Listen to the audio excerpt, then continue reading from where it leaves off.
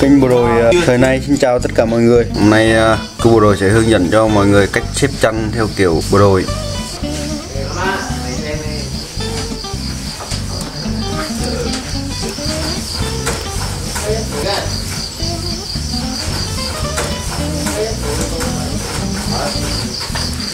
Hôm nay ờ, kênh sẽ hướng dẫn mọi người cách xếp chăn. Đầu tiên thì mọi người gấp lại đưa vừa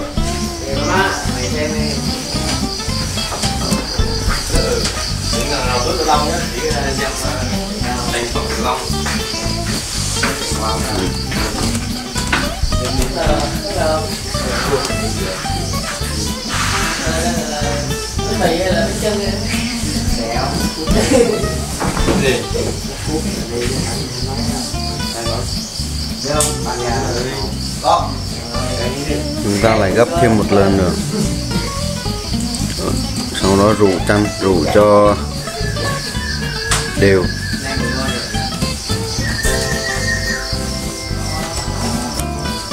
rồi mọi người chúng ta trải mùng lên trên giường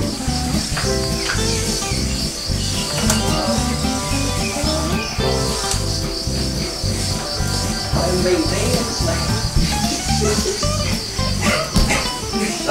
rau lòng với lại kem miếng tây. Nó gấp lại. Gấp hai mép lại với nhau.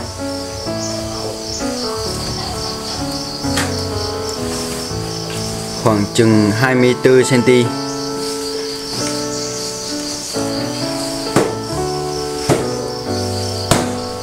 chiều rộng khoảng chừng 24 cm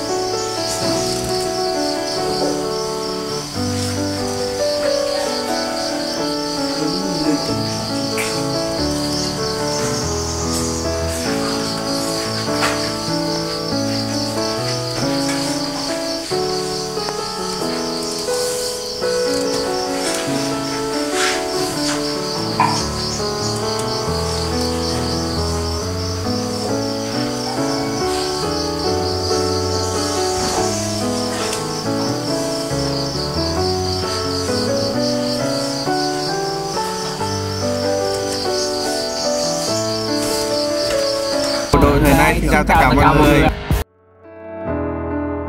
Tiếp theo chăn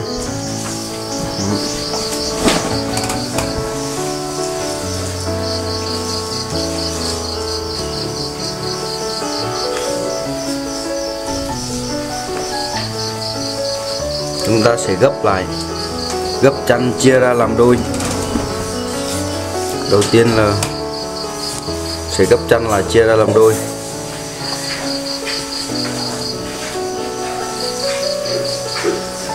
mọi người quan sát các chú bộ đội làm.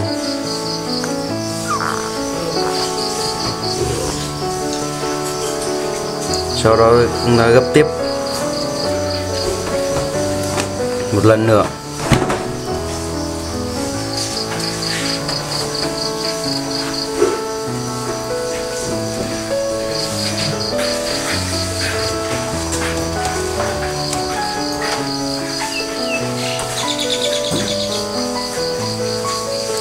Sau khi gấp xong thì vuốt cho chân bằng xuống.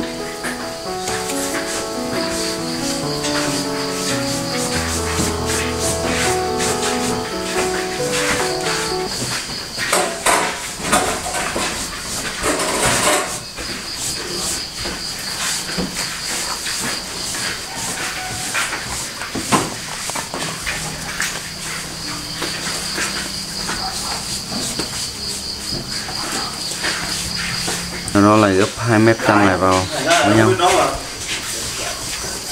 Đó.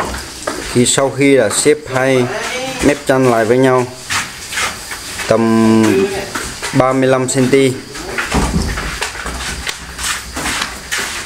chiều rộng 35 cm nay à, đồng chí dừng dưới đi làm xong nhiệm vụ của mình nên cũng về xếp chăn tiếp theo là bỏ mùng vào.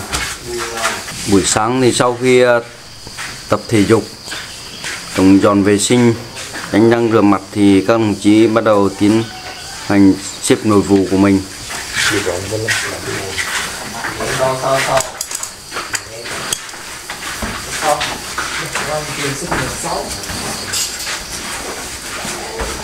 Bây giờ các đồng chí chiến sĩ là đi làm về cho nên anh em tập trung vào xếp nội vụ vệ sinh sướng lắm các Xong. bạn không có khổ một chút nào. Sau khi hoàn thành à, xếp chăn thì bây giờ đến phần chỉnh các góc. Giờ tôi đến phần các đồng chí em ơi long nghe này chỉnh góc. Chứ tin cùng là phần ta chứ tin cùng là sao tao. Có thể như là làm như cố ý cái tí có tất cả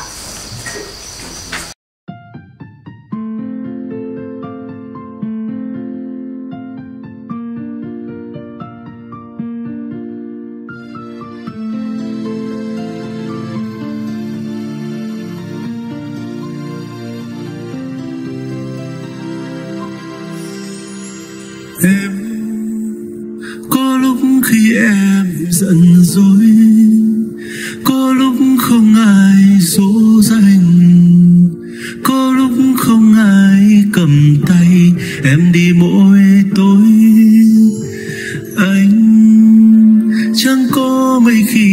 rảnh rỗi chẳng có mấy khi ở bên vỗ về. Làm người yêu của anh, nhiều khi tủi lắm. Yêu quân nhân là quên những lúc, là gặp gỡ có khi lỗi hẹn. Yêu quân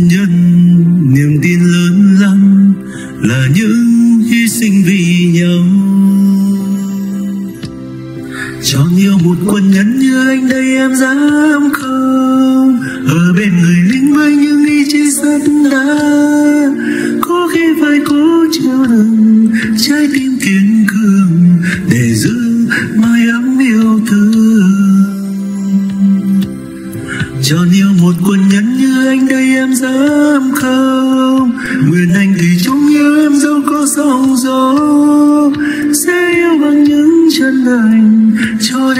một ngày khi đã lên đông lên bờ Em yêu bộ đội không?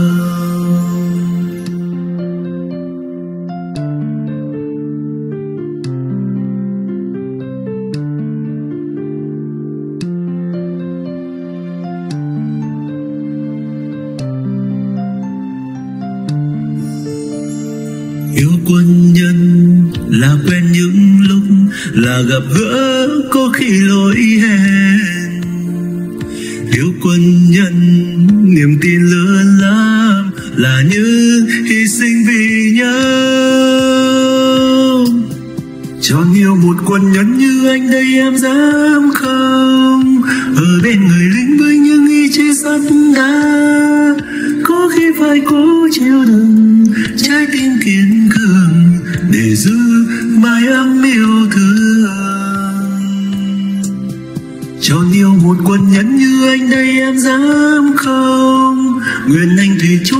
em dẫu có sóng gió, sẽ yêu bằng những chân thành cho đến một ngày khi đã lên ông lên bà em yêu bộ đội không